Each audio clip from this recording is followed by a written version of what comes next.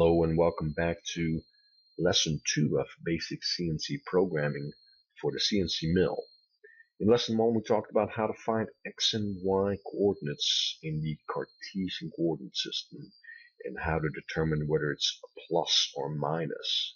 So we're going to take it one step further in this lesson here and we're going to actually walk a half inch end mill around a 2 by 2 square.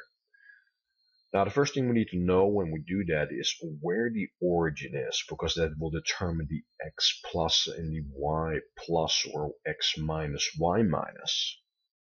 So, as you can see, I have pointed to this top left corner of the square being the origin. So that's where x and y is 0.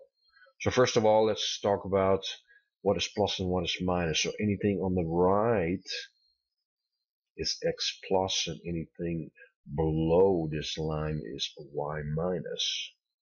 So that will that that's what we need to know to be able to determine our x and y values. So we have a start point where the end mill is basically in line with its first path as it walks around this square. Then we have point one at corner one, point two at uh, corner 2 and then 3 and 4. So we're going to determine the x and y values of these start points and points as it walks around. And what the machine needs to know is what is the xy coordinate to the center of that tool.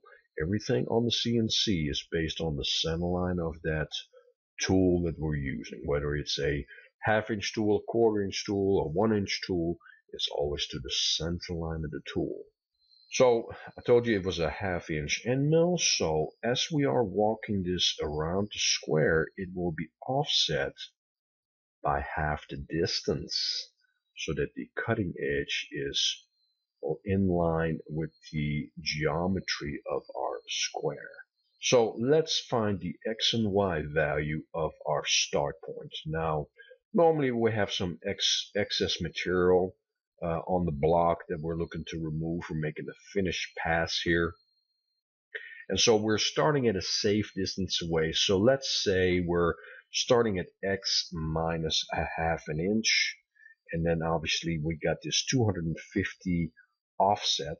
So our first coordinate will be x minus 0.5 or x minus a half inch, y plus 250. Alright, so then the first move we make is a straight line move to this corner here. Now we're going to go past this corner and get this edge of the end mill in line with the next side of the square.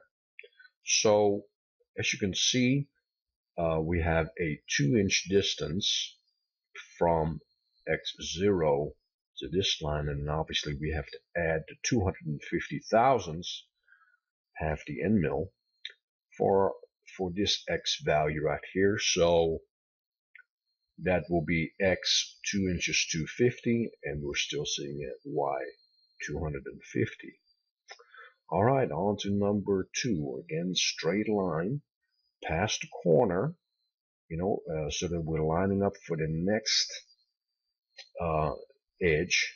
So we're going to get this edge of the end mill in line with the next piece of geometry we're going to be cutting. So we're still sitting at x 2 inches 250 right here, but now we have moved in y minus. So this block is 2 inches, so plus the 250 thousandths uh, offset for half the end mill.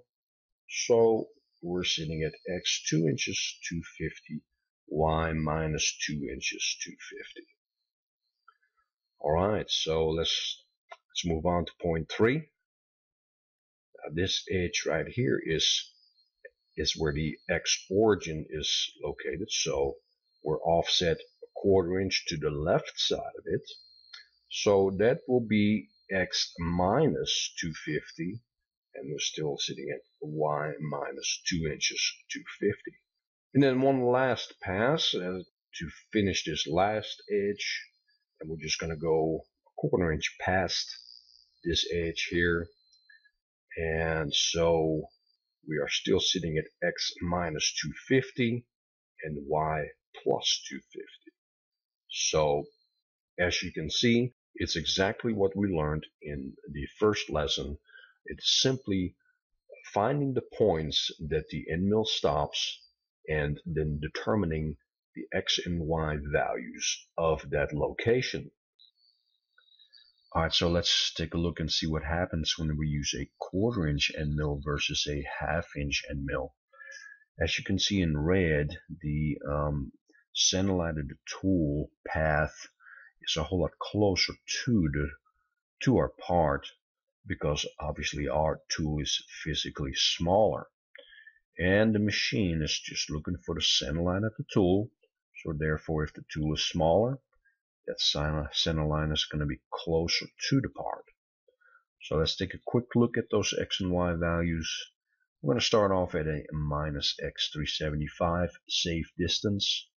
Now half of a quarter inch end mill is 125 so that is the amount offset from this edge okay that's that's our start point in y. So point one is our next point. Still y 125 but our part is two inches. Again 125 past this side of the part so x 2 inches 125 next point. Still x 2 inches 125 but y is now 2 inches plus 125 y minus 2 inches 125 next point we're now sitting on the minus side of x0 which is this edge right here so x minus 125 and y still minus 2 inches 125 and our last point as we complete the square still x minus 125 and we're back up to y plus 125 as we pass just a little bit past this corner. Alright, so you can see that with as the size of the end mill changes, obviously the coordinates used to machine the same geometry will also be different.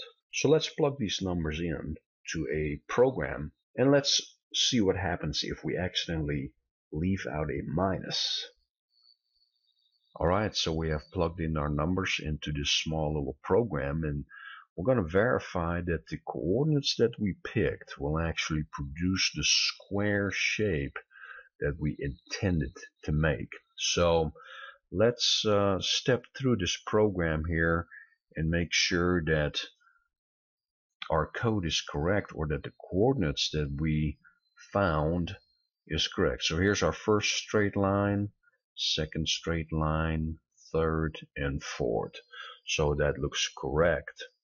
So it's always good to verify your code. Uh, every machine has at least the graphics where you know you can see the cutter path and you will probably notice if something was wrong. And so let's on purpose remove a minus, one of these minus values is here, and let's see what happens. Alright, so here I've purposely removed the minus from this y minus 2 inches 250 on point 2. And so let's step through our program and see what happens when we forget to put a minus value on a coordinate. Alright, so here's our first line that looks correct. Now we need to move to y minus 2 inches 250 and obviously it's going to the plus side. But what happens next is the next coordinate is correct. So it's going to find the shortest route there. So obviously it would go right through the middle of your part. And then that last line is correct. So the point of this exercise is to make sure that you got your plus and minus values correct because you will end up with a mess. So let's go on to the next video and let's talk about G codes. See you there.